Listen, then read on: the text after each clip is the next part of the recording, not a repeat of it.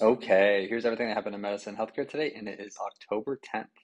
Starting us off, we have a Washington Post poll of nearly 3,000 parents that found that almost 85% of them trust their pediatrician more than anyone else when it comes to vaccine recommendations. The research also found that those who were less likely to trust pediatricians were more likely to skip on vaccines or delay the timing in which they were to get a vaccine.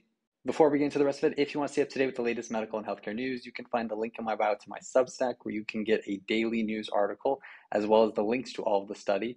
If you want to help support me as a medical student, you can also find some links in the bio as well.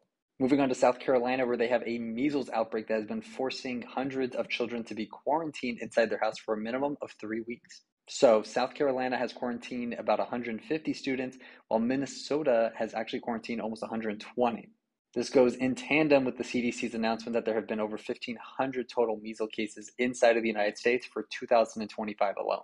Then, when it comes to research, when it comes to screen time, researchers in Ontario found that children in third and sixth grade who spent more time on their screens and phones were less likely to have better academic performance. More specifically, what they found was, was that for each additional hour of screen time, they had a 9 to 10% lower chance of scoring high on their academic achievements.